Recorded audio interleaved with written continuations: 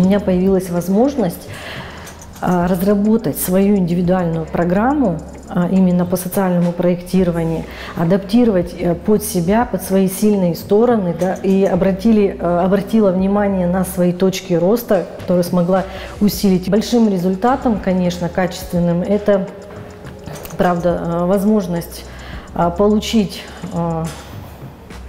простые, э, простым, вернее, языком а, именно понимание а, социального проектирования. И результатом является то, что у нас а, вот в прошлом году Юг Красноярского края очень активно подготовил качественные проекты в фонд президентских грантов.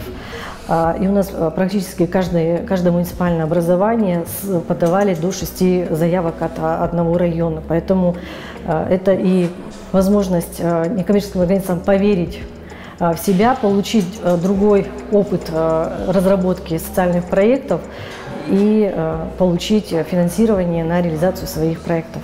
Те технологии, которые были мной получены в рамках данного курса, они как раз и помогли донести до некоммерческих организаций. Зачастую это простые инициативные люди, которые могут хорошо делать свою работу, но они не знают, как разработать проект, какие использовать методы, технологии и механизмы.